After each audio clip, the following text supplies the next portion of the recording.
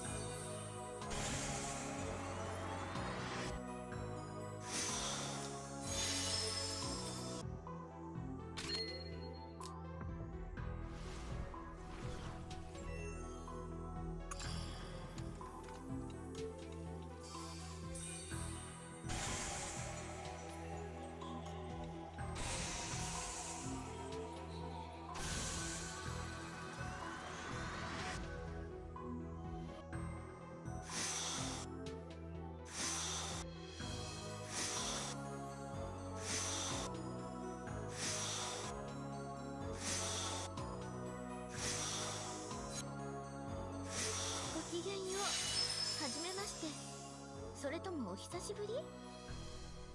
私はアダン・ケルモ。兄あるいは不思議なお姉さんって呼んでくださっても構いませんよ。